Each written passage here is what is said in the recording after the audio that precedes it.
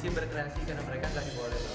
Eh, musik yang nggak punya label Eh, yang ngerekamnya sendiri gitu Danila sama Foto Industri.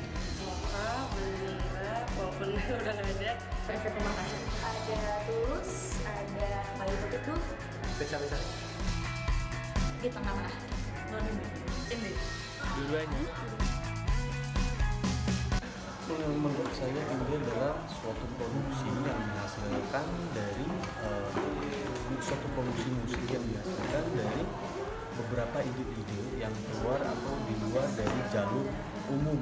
Jalur umum di sini apa adalah jalur yang notabene adalah musik non indie tadi. Yang notabene musik non indie itu adalah musik yang uh, atau yang sangat industrial gitu kan?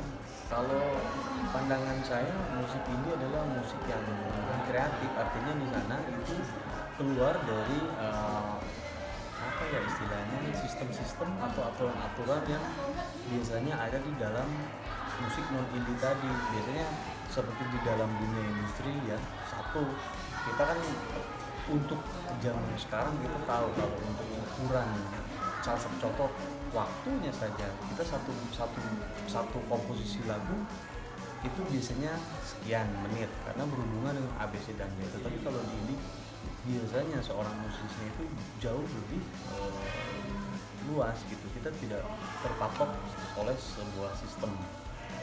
Sebetulnya kalau saya lihat pandangan saya mengenai eh, produksi ini itu tidak berarti bahwa itu adalah kecil.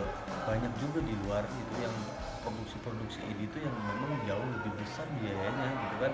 Tetapi sebetulnya yang membedakan itu adalah sistem distribusinya saja gitu ya, independen sifatnya gitu. Kalau eh, musik yang atau film yang independen atau musik yang indie gitu kan biasanya itu mereka mempunyai slot-slot atau blok-bloknya atau masanya masing-masing. Biasanya gitu kan beserta genre-genrenya juga.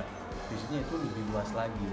Kemudian eh, mereka itu tidak pernah eh, apa ya ya tadi kembali lagi ke sistem dari yang non indie tadi yang notabene itu banyak sistem-sistem yang memang harus dilakukan tapi kalau indie saya pikir eh, jauh lebih luas lagi. Gitu baik nasional maupun internasional. Saya pikir begitu ya